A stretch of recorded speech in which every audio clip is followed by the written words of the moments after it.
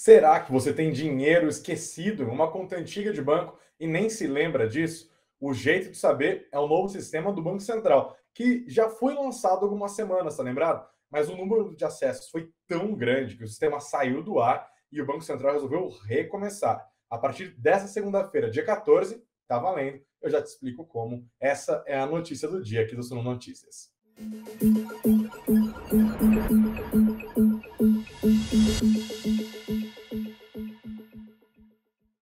Nosso site você encontra um passo a passo, uma explicação do que é que está acontecendo. Dá uma olhada aqui, ó. Já está no nosso site Dinheiro Esquecido, consulta por valores a receber no BC. Começa nesta, recomeça nesta segunda-feira, tá? O site se chama Sistema Valores a Receber, né? Bem pouco criativo, bem óbvio, tá ali, direto, né? O site é valoresareceber.bcb.gov.br. E ali você não vai necessariamente se descobrir quanto de dinheiro você tem, porque existem datas para que isso aconteça, tá? No momento da consulta, que pode ser feita agora pelo site, o cidadão vai saber se tem algum valor a receber e, se tiver, ele vai receber uma data para conhecer esses valores e aí sim, depois de conhecer os valores, nessa data ser marcada, pode solicitar a transferência. Vai acontecer isso a partir do dia 7 de março de 2022, tá? Então é o seguinte, o site é o valor a receber.bcb de Banco Central do Brasil.gov.br, mas se você acessar o site do Banco Central, você já vai direto, ó, dá uma olhada. receber.gov.br é a primeira coisa que acontece. Estão disponíveis as consultas ao sistema Valores a Receber. E aqui ele explica, ó, para pessoas nascidas antes de 1968, o período de agendamento e posterior consulta e resgate dos valores é de 7 a 11 de março. Entre os nascidos de 68 a 83, entre 14 e 18 de março.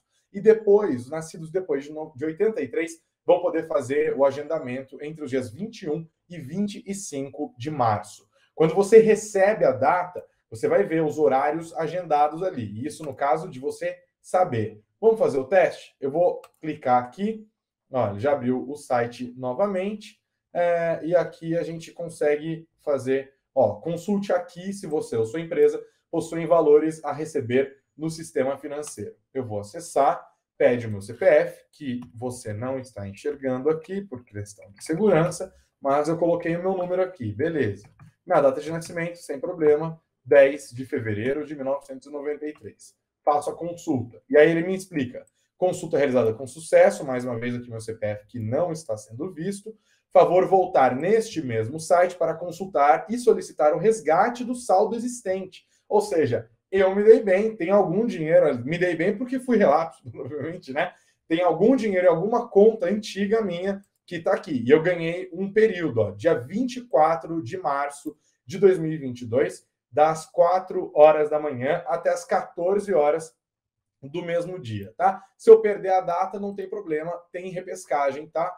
Marcada aqui no meu caso para o dia 26 de março, às 14, até às 14, ou então até às, às 12 horas, né? até meia-noite. E ele já explica: você vai precisar ter uma conta gov.br. O governo, é, e um, um dos méritos do governo Jair Bolsonaro, inclusive, é uma digitalização importante que aconteceu nos últimos tempos. Né? Vários, milhares de serviços podem ser feitos por meio de um único cadastro, é o gov.br. Se você não tem ainda, vale a pena, não só para esse, esse tipo de consulta, mas para outras consultas de todo tipo. Você faz o seu cadastro, no dia do agendamento vai lá, faz o seu login com a conta do governo e aí você consegue consultar o seu saldo, fazer a requisição desse valor, informar uma chave Pix para receber, todo o procedimento vai estar tá lá bem claro. Agora eu estou na cidade, quanto será que eu tenho para receber?